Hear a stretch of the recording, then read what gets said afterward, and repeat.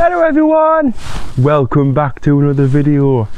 Today we're going to be going through the Aldi Adventuridge one man tent.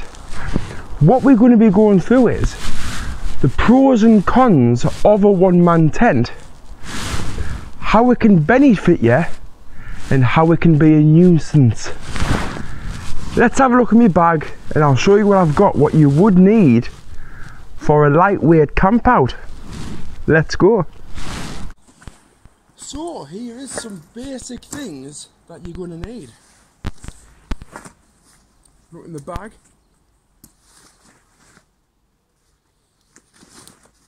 We have got our Adventuridge one man tent which retails at 19.99 it's 2000 mm says 5 minute pitch. It's probably about right. 1.5 kilograms. Oh there we go. The average tent is going to be around about 3 that's 1.5 I'll be honest with this. I went to the car boot sale and I paid 5 quid for it. Brand new. So £5 tent We've got our summer sleeping bag.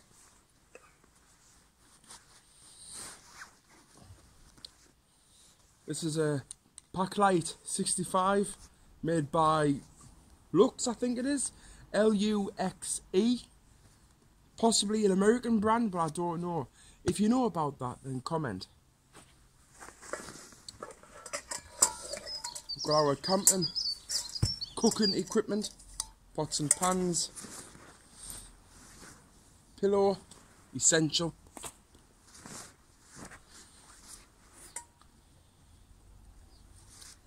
Got other cooking equipment.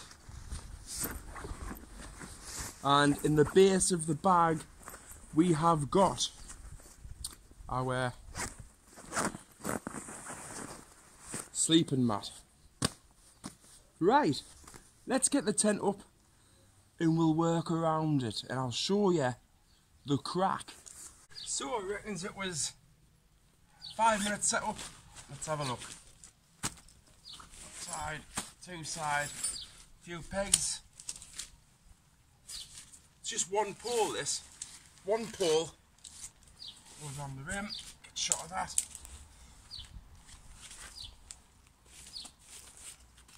It's the inner inner pitch first. I'm not a big fan of inner pitch first because if it is raining then possibly the inside of your tent could get wet.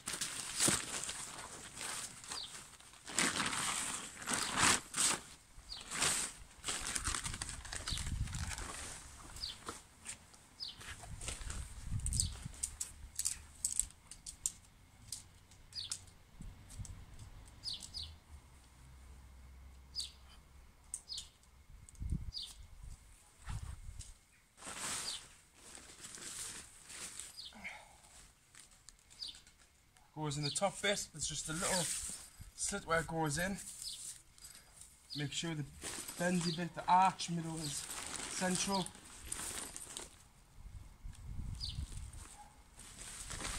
One side in.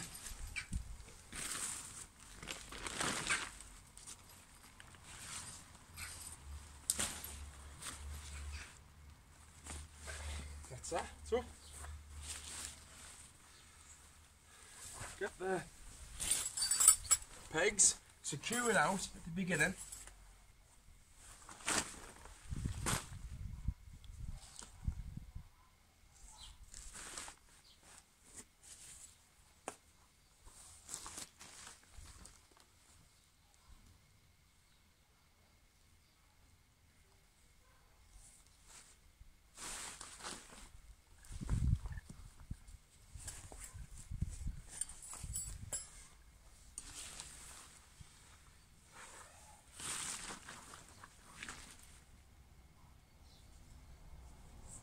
That's that.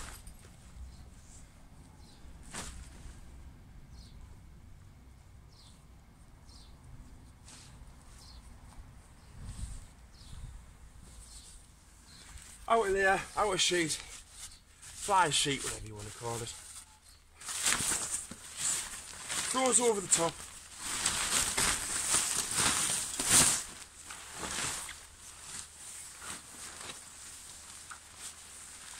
Make sure that you get the, the right side and out. Right, so with most inner pitch first tents, what you'll find is, you go to the centre where the pole is, you'll find straps. Strap them on, and that's going to be the beginning of putting the fly sheet on. Once this is on, you'll be able to peg it out properly and you'll be able to figure out the resistance, how much resistance you're going to be uh, putting on it. So now I've done that, as you can see, that'll be staying there, now I can peg everything out. Right, let's get everything out. It looks quite nice already.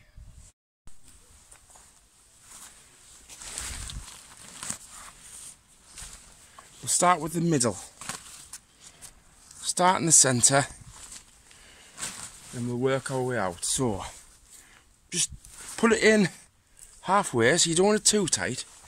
Then we'll go to the other side and peg this central one out. Then we know that it is directly in the middle. Right now we can start doing the other sides now. Want some more pegs?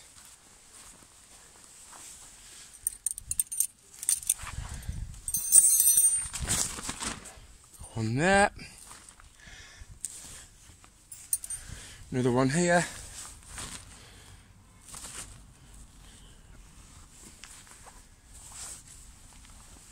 There's one on the side.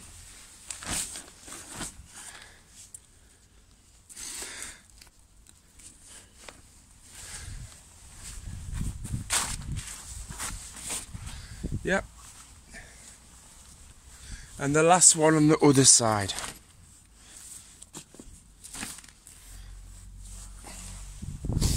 And there we go. I think it looks quite smart personally. It's all up now, it's all taut, how I would like it. This is what it looks like. The side jaw open. Oh, I'll just put that in there.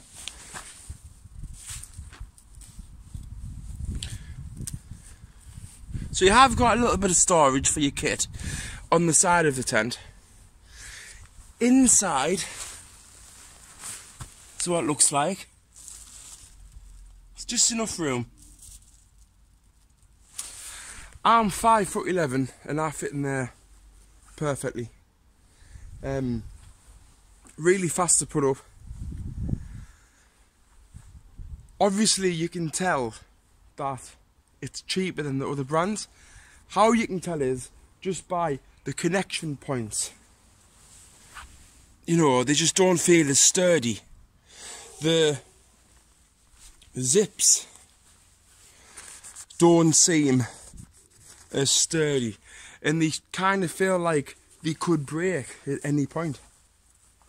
But if you're careful with it, treat it right, it will last you quite a long time.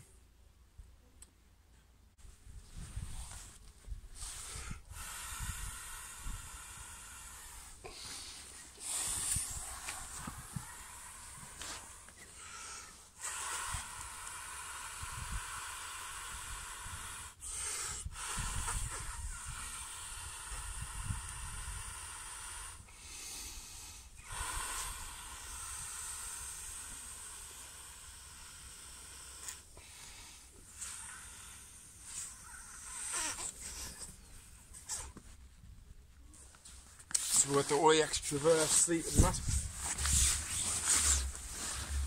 Put that in. We have the OEX Traverse pillow. Two little blows, puffs, this will get up.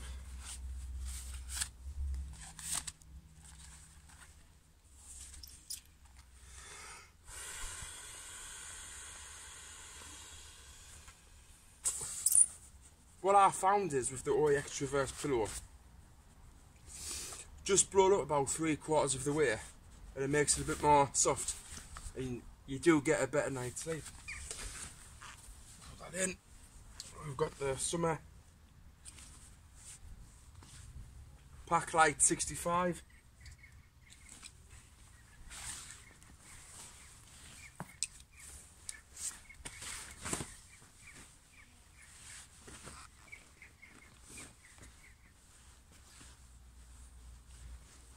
And then we've got our cooking equipment here. And I'm just going to show you what you would be doing in a one-man tent when you need to cook. Now, I thought I'd make sure I've got no snot because in the past few videos I've had get big snots in my nose. Right, I've got no snot to be alright. Okay, we've got storage pouch there. Plenty of headroom at the back, you know. My feet are at the bottom. Obviously I wouldn't normally have my boots on. Plenty of room. My gear is at the side of the tent here in the pouch. And if you look, there's plenty of room at the back of the tent as well. So you could put your stuff all the way around the tent. And that would give you more room in your main quarters here. Now, I've always had two-man tents. My last video that I did was uh, the Euro Hike. Backpacker DLX. That was my first ever tent really and it was two man because I always go off the dog as well. So if Ruby came and ate me dog it would be a tight squeeze. I would have to be right over. I think it would work. It definitely would work but it would be a really tight squeeze. But for the price that you're going to pay if you're just getting into tenting camping I know some people that's going out and they're spending four, five, a thousand pound on all the equipment and then they could be going out and they might not even like it. Get yourself a cheap little tent at the beginning, have a few attempts at it, and, if you like it, then fair enough, get out, spend money, but on what you want, what suits you. Don't just be looking at YouTube videos. Oh, I'm going to buy that Rab jacket because it's Rab and it's expensive and it's going to be class. It doesn't matter. There's different brands out there at different prices and it's just what suits you. It depends what price range you've got. If you have got the money to get out and buy a load of stuff, then fair enough, do it. But if you are on a budget, do a bit research and think about what you're going to need and are you going to use it. I've bought stuff in the past where I haven't used it hardly as yet. I might use it once or twice, but that's it. So let's have another look at the kit. That's inside.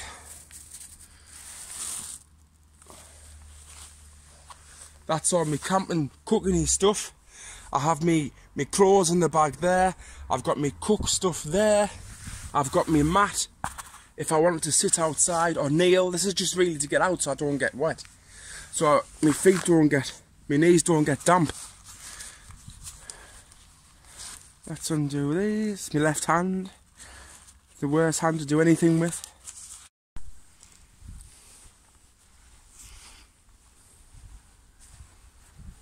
I think it looks brilliant. The air vents. I mean, you can always get buy something like Fabsil just to go over the seams if you do feel like it might leak. You still save money if you, even if you bought a litre of Fabsil.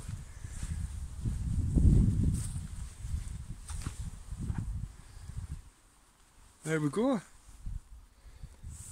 Right, so just to go through the itinerary of the camp. Tent was £5. It would have been normally 19.99 from Aldi, but I got it from the car boot sale. It was still brand new, it's never been used. I've used it a few times now. Um, my sleeping bag I got quite cheap. I think I got that for a fiver from this other place that was like a car boot sale. The OEX stuff, the pillow and the mat, I got from Go Outdoors. They both came to, I think it was £23 for the both. Um, the bag also got from the car boot sale. I think I just paid a couple of pounds for that again. Clothes, obviously, I get my clothes from Go Outdoors most of the time, but It doesn't cost much to get out and enjoy yourself. Have a go. Even if it's not really a good tent, use it a few times. Maybe it's keep parts because you can always use different, like the poles, keep the poles, you can re repair other tents. They might be similar poles.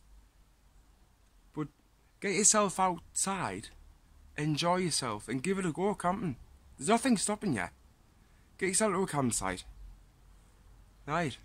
I hope you've liked this video of the one man Adventuridge Aldi tent. It's a good tent for the price. You can't go wrong. I haven't seen this for sale in Aldi for a long time. So, they might be bringing out a new model or they might just have stopped selling it.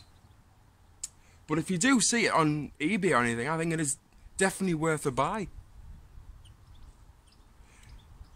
The next video of it will be a wild camp in it. Um, and I'll show you what it's like. Properly up in the mountains.